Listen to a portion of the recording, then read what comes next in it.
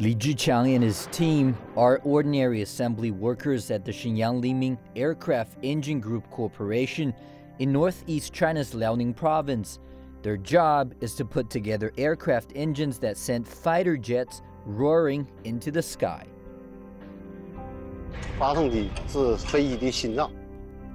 An engine to a plane is like a heart to a human, so we need to make sure every engine is strong enough. This is where Li Zhiqiang works, but it's also the place where China's first aircraft engine was born. Every aircraft engine assembled here can bear a temperature of over 1500 degrees Celsius, high enough to melt steel.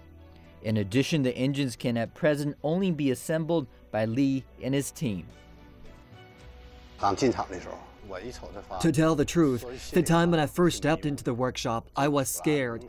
The aircraft engine is too complicated that I even doubted if I was capable of making all parts in it right. But look, 30 years have passed and I have assembled hundreds of them. This is the assembly guide, which used to be consulted every day, but for Li Zhiqiang, there's no need to thumb through the book, as all procedures have long been learned by heart. Assembling an aircraft engine is fine work and is similar to putting together the core of a mechanical watch. Moreover, the assembly work currently can only be done manually.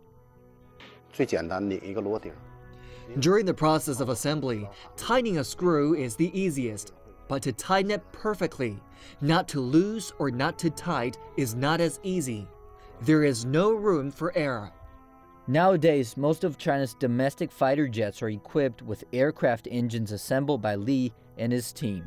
Those fighter jets have not only had flown throughout raging storms, but also over Tiananmen Square during military parades.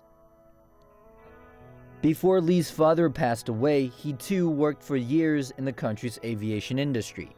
Deeply influenced by his father's passion for aviation, Li Zhiqiang's son has now also chosen the same path. I am now working as the tester for the company. After my father has finished assembly, I will test whether he's doing a good job.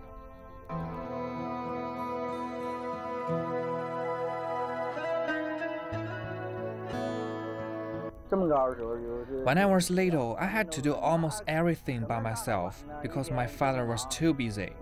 And our neighbors always blame my father for not taking care of me but I feel very proud of my father.